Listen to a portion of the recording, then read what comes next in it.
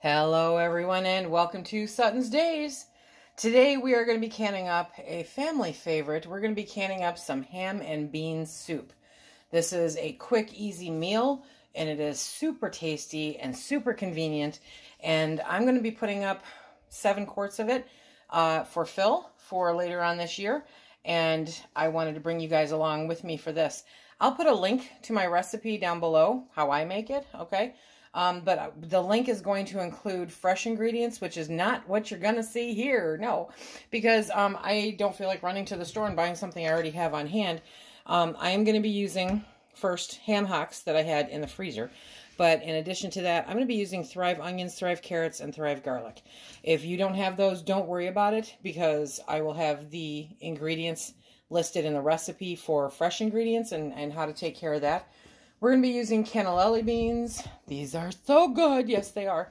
And of course, as always, we're going to be using Forjars canning lids because they are the bomb. Yes, they are. We'll talk more about those a little bit later, but we're going to get started here. You need to do a few things before you start your soup. So I will put a link to this down directly below. There's been a lot of discussion uh, over the last few months about whether or not we can put ham in with our soup because Ham is not a meat that is approved for canning at this time because they have not tested it and they believe that any cured meat um, has a, uh, the density is different. It's a, you know, there is more density to it than, than uncured meat. And so they just haven't tested it to approve it yet. Um, but like we discovered when I did the beans a while back, um, they do approve of you putting a little bit into the beans, you know, for flavor. So we did a little deep dive on it. I reached out to my friend Linda at Tulilu, and she dove even deeper because she has some resources that I don't have living here in the state of Michigan. But um, the thing is, you can add it to soups. That's the easy answer right there. Okay, so you can add ham to soups. You cannot can um, a jar of ham because of the density issue. They just haven't done it yet. But if it's an ingredient to add flavor, then you got this. Go ahead and do it. But you're going to want to do it per the National Center for Home Food Preservation and how they have it set up to can soups. So vegetable, dried beans or peas, meat, poultry, or even seafood soups can be canned. Yes, they can. These directions are intended for use with ingredients that already have separate canning recommendations for these foods. So that being said, do they have a separate recommended canning uh, thing for the for ham. No, they don't. But they do add it to beans. You know, it's it's kind of like this great big game of chess. You just keep moving stuff around, okay? So um, we are going to make ham and bean soup. There you go. Remember that when you're canning soups, do not add noodles or pasta, rice, flour, cream, milk, or any thickening agents to home canned soups. If dried beans or peas are used, they must be fully rehydrated first. Yes, that's right. You have to rehydrate them first, okay? So that's what I did. There's my pot of beans that I cooked up. They are good to go, and we're going to be adding some fun stuff to that. You want to select, wash, and prepare your vegetables, okay? Your meat and your seafoods as described for the specific foods in their own canning instructions. So, if you're doing carrots, you want to prepare them the same way that you would prepare carrots if you were doing that, uh, just a jar of carrots. You want to prepare them the same way, and you want to prepare them the hot pack method, okay? So you want to get all of your vegetables and your beans and everything set up that way. We have done that, but we are going to be using Thrive Life because, well, it's easy, it's convenient, it's here, and I don't have to spend any more money. So let's get started. I have my ham hocks here, and I put them in the uh, Instant Pot for a hot minute and cook them up. And I'm not going to be using, okay, so I'm not going to be using the fat. You know, that just automatically goes to the side. But that beautiful piece of meat right there, that is going to end up in a jar. And so what I'm going to do is go through here and separate out the hunks of meat and put them onto my cutting mat. You want to make sure that you're not bringing any bone along. Uh, as you cut it up, I'm sure you'll find cartilage if you got any onto your cutting mat, okay? But there's some nice pieces of meat in a ham hock. It is smoked. It is delicious. It has amazing flavor. And the best thing to use them for is soup, in my mind. Now, cornbread. Oh, my gosh. Some ham hocks, some cornbread. Okay, I digress because I'm not doing that. I'm making soup. We're going to make some absolutely delicious, eat your heart out, ham and bean soup. The bones are still hot. Um, for Phil. Ooh, there we go. And that way he has some easy meals later on in this year uh, when I won't be cooking. And if you've been with me and caught that video, you know why I'm not going to be cooking for a little bit. But that's okay. I'll still be cooking, just not for probably a week or so afterwards. Okay, so we'll cut the fat off of there. So this is what I got from the ham hock. So first you want to go through and just cut that up. Okay, you want to make sure that you didn't miss any bones or heavy cartilage or anything like that. Any big chunks of fat, I take them out. Um, we raise our own pigs here. Let's see like that. That won't stay. Okay, we raise our own pigs here. And so when we have them processed, my goal is to keep as much as I can, respect that animal as much as I can, and use everything possible. And the ham hocks are one of those things that a lot of people are like, well, what do I do with it? I'm like, I don't, I don't know. I, I make ham and bean soup. That's what I do with it. So Phil loves ham and bean soup. It's a super simple recipe, you guys. And I haven't found anybody that's not a huge fan. So let me know in the comment section down below. What's your take on ham and bean soup? So again, I'm just going to cut this up. This is not a ton, you know, this is not a ton of meat. And it's going to fill seven quart jars. This is flavor. Most of your protein is going to be coming from the beans itself. So this is a great recipe for leftover ham. If you've got ham hocks, ham hocks, um, you know, it, you don't need a ton of meat to do this and make it a good hearty meal, which is probably why it's so popular because it's actually a very frugal meal to be able to enjoy. Oh yeah, look at that. Okay, so now, did you check out the knife? Yeah, okay. Um, those of you who don't know, this is my favorite knife in the whole world. And there's a link down below to it if you're interested. It is absolutely fantastical. And I know some of you picked up the knife too. So if you love the knife, throw it down below. Tell everyone how much you love that knife, okay? Okay, now let's start adding stuff to the pot. In my lovely pot, I have my beans.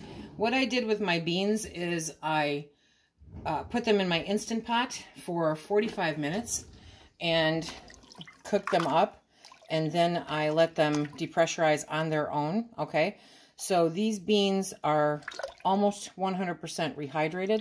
That's okay. They will not be mushy beans. Trust me, they are not going to be mushy beans.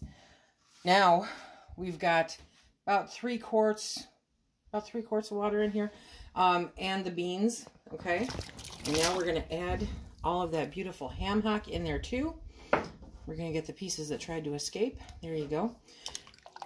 So when you're making a soup, you need to remember that only half of the contents of the jar are going to be solids. The rest of it is going to be liquid. Um, that is how to safely can it, okay? So we're going to add just a teeny tiny bit of garlic. Um, I have a measurement down below, but I'm doing, you know, I'm doing the Thrive garlic because it's handy. I have it. And then carrots. If you are using the Thrive carrots, by the way, let me show you these. These are Thrive carrots, you guys, okay? They're dehydrated. They're not freeze-dried. They're dehydrated. And they're diced up perfect little carrots like you would find in, you know, commercially made chicken pot pie or something. But what you have to be careful of is that they can be very sweet. So you don't want to do a whole bunch of them. But if you're doing uh, fresh carrots, whole different ball game, okay? And with Phil, the carrots are kind of like, ooh, bonus. And if he wants some more carrots, we'll just empty a jar of carrots when he opens it up. But that will be enough for flavoring and to add a little color to that fantastical soup. And then I'm going to put in the Thrive Life onions. Now remember, if you're stocking up on Thrive, you guys, um, you're going to want to practice with it a little bit to learn how it works, to learn how it acts when you are cooking. So we're going to turn up the heat here. Poof, cooking with gas. And we are going to just heat this up for about five minutes and then we'll start spooning it into jars. If you don't have enough liquid in the pot, oh, wait, I forgot an ingredient. I forgot to add a little thyme. So probably like a, a half a teaspoon of thyme. And again, this is for seven quart jars. Um, but I can already tell I don't have enough liquid. So I'm going to add another quart of water to the pot and then we'll get busy. I have my hot soup in the pot and how I do this quite easily is to scoop it up, strain off most of the liquid, and then go about filling the jars, okay? Because I want to get that halfway point with the solids. And that's the easiest way for me to figure that. And then I will take the liquid and bring it up to an inch headspace. So that ensures that I get a little bit of everything and follows the National Center for Home Food Preservation guidelines to bring it up to uh, half solid, half liquid. Okay, let me turn down that heat. Okay, so there we have our first jar. Half solid, half liquid. Poof! Super simple and easy. Soup is another one of those things that's actually pretty easy. Okay, so as long as uh, the ingredients that you're putting in are safe for canning, then you can make soup. No starches, no thickeners, none of that fun stuff. Just uh, approved foods and such, okay? So you can make up your favorite soup, minus the ingredients that are not allowed for canning, and you can throw it in a jar. Why can't you make up the same stuff? Why can't you can cream of mushroom soup or cream of broccoli soup? Well, because broccoli is sulfurous and it will taste like your foot. It's terrible. What your foot tastes like, I don't know. It's just an expression. So you can't do it, okay? Because there's no safe way to can broccoli. But there are safe ways to can vegetables. There are safe ways to can chili. And as long as you're doing it based on these recommendations, then you're good. Now, chili is one of those weird ones uh, because everybody has a different chili recipe, right? And the National Center for Home Food Preservation has a chili recipe or two, but they may not necessarily be to your liking or have everything in them that you like. So take a look at the ingredients that you use. Now, when I can chili, I'm not going to lie, I can chili and I can it for the meat time so that that removes any issues. Can you use dry beans? No. Now, here's a fun fact for you, okay? If you've ever canned dry beans, number one, trust me, I did not get this waistline because I eat crappy tasting food, okay? I get this waistline because I eat good food. Um, when you can dry beans, a lot of people will notice that the liquid is completely sucked up into the beans because the beans will continue cooking during the canning process like everything else and they will absorb any of the excess liquid. So we should not see a lot of liquid loss when it comes to this soup. I'm not going to get seven jars, I don't think, which is totally cool by me too. It means I get to do it again. I have more ham hocks. Um, so when, if, if you were to do dry beans in this, it would suck up all your liquid and you would not have soup. You would have ham and bean sludge, okay? And that's not good. That's not what you want. You want soup. You want something that you can stick crackers in or whatever. Um, Phil, okay, tell me if you guys have heard about this. I need your help with this one. Okay, Phil grew up with uh, ham and bean soup that had dumplings in it. Dumplings. I have never in my life heard of such a thing, but I will tell you, because I made it for him, it's good. It is good. Um, so you could actually do that with these jars of soup too, because there's enough liquid in it that you can make dumplings. And when you heat it up, you can cook the dumplings in there. It's phenomenal. It is. This is so good. Okay, so for the last bit in here, I am going to use a slotted spoon that makes a lot of noise. And I am going to get everything and put it in here. Oh, no, I'm not. That's just more trouble than it's worth. Just tip the pot, Lisa. It is what it is. So this one may not have as much. It's going to have plenty of the solids in there, but that's okay. I can smell the carrots. this smells so good that I think I even have like a teeny tiny bowl left over for Phil for lunch. Yay. Okay. Now we're going to get these cleaned up. This recipe, you see I'm scraping the bottom there. Tiny bowl of soup for Phil. Now we're going to clean the rims. It doesn't matter if you're using a funnel or not. There's going to be something on the rim. Guaranteed. So I use vinegar and a little paper towel. And I go around and I wipe down each one of the rims to make sure. Okay? You want those clean. You want that point of contact with the lid as clean as possible.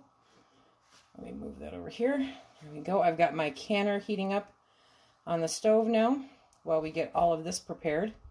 So this net me five quarts of soup, which is super cool. Where's my drawer with my lids? We are going to be using Forjars Canning Lids. As most of you know, I've used these exclusively since the beginning of the year. They asked me to try them out. I tried them out. I am beyond extremely excited.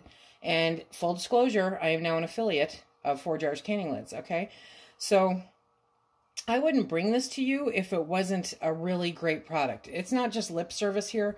You guys know my reputation's on the line by saying that they're good, so I'm not going to do that, okay? So Forjars Canning Lids, absolutely phenomenal lids. And they have wide mouth, they have regular mouth, they have the button. Do we see the button? There's the button. I love the button. It's totally unnecessary, but I love the button.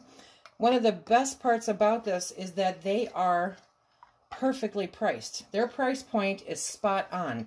And a lot of people have been having a lot of issues lately with the standby lids that have been around forever, right? Um, with them not sealing. My failure rate with these is practically non-existent. The three fails that I've had this year were 100% my fault. It was a jar where I didn't check a, a I didn't find a chip, you know, um, and another one oh, just recently had a chip that I didn't catch. And then another one, I think I overfilled. So the failure rate that I've had with these, you guys, I can every single week. I can. Something's going into jars at least once, probably two to three times a week. Something is going into jars to fill that pantry. I want to make sure that we are stocked up and prepared. And the best way that I know to do that is to get things in jars, get them out of the freezer, make them easy and convenient so that if anything happens to me, Mine are taken care of. And if anything happens in the world, which you know right now is on fire, um, that we are taken care of. That's my number one important thing. I also want to mention, because it's a very common question, okay, now that it's in jars, how long will it last? If it is stored in optimal conditions, meaning between 50 and 75 degrees, and it's dark and it's light, you know, it's, sorry, dark it is the right temperature and you're not shaking it and moving it. It's not moist. You don't want anything with high humidity.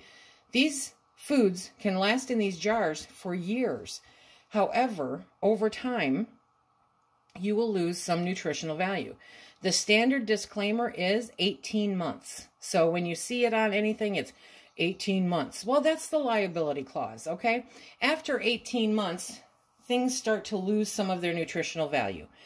That's what you have to, you know, be aware of as you're moving forward. I don't can to have something on the shelf for four, five, six, seven, ten years. I can to have things available for the next couple, two, three years, and to make sure that my freezer is okay.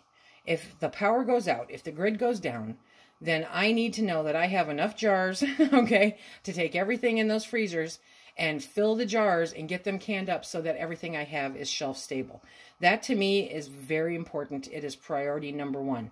I love shelf stable foods. I love shelf stable protein. You cannot can everything that you can find commercially canned unless you're going to invest the hundreds of thousands of dollars in that equipment in order to do it the way that they do it. As a home canner, we are restricted to a different set of rules and guidelines based on the equipment that is available for us. So that is why I say we need to follow the National Center for Home Food Preservation because personally, I'm not playing Russian roulette with my family's food. It's not going to happen. Now we are going to put on the rings. Yes, we are. So you want to put the rings on finger tight. And the easiest way that I've figured out how to show you guys is two fingers right there. You want to take it to where it stops with those two fingers, okay? I'm not holding a jar. It just stops. That is what you want to do. Does it matter if your rings... See, I purposely pulled that one out just to show you guys. That is just not a great looking ring. But guess what? It doesn't need to be. It is not an engagement ring. It is a tool, period. So it doesn't need to be pretty. It needs to work. When it gets to the point where it doesn't work, then you need something to worry about, okay? Then you replace it with another one. Okay, there we go. And as the more that you practice with the finger tight, the better you get with it. If you over tighten them, that is when they buckle. So if you over tighten it, number one, uh, it doesn't allow the air in the jar, you know, anything above that inch head space, to escape and that's what you want. That's what the canning process does is it evacuates all of that excess air in addition to bringing it up to a temperature that is good for killing off any of those microorganisms. So headspace, very important, very important. If it siphons, it's not a deal breaker. It is not a preferred outcome, but it's not a deal breaker, okay? So don't worry so much about siphoning. If you're if it's siphoning, it may be because your temperature is fluctuating too much or is it too high of a temperature, or the jar is too full. You know, there, there really are a number of factors that play into whether or not it will siphon. But if those lids buckle, that means that you put the rings on too tight. We are putting these hot jars of soup into the water, or the canner with the hot water, okay? So you want to do that. You don't want to put the hot jars of soup into the canner with cold water because it could result in thermal shock. You want to make sure that the temperatures are somewhat near each other. Wow, those are hotter than I thought they were. Okay, so we're going to get all of those in there. Now here's the fun part, you guys. You know, if you've been with me at all, because I'm huge into canning proteins, that if we're canning proteins, then there's a certain amount of time that you have to do it for, right? And if you're canning like quarts of chicken, say, then it's normally for 90 minutes, an hour and a half. But for the soup in quarts, it's 75 minutes. Why is that? That is because there is not as much solid in there. The meat is not in there to the degree that it is if it's just a jar of meat. So the heat will penetrate everything the way that it's supposed to. The liquid in there acts as a conductor to make sure it gets through everything. It's a beautiful and fantabulous process. Here's my weird fact for the day. That popped up right away. So I've got some pressure building up in there already. That's weird. Look at that. Oh, nope, came down. Never mind. Okay. Okay, here's my fun fact for the day. The lid is on, and we have the heat on high to build up that pressure in there. And when it starts venting, there's no way you cannot hear that.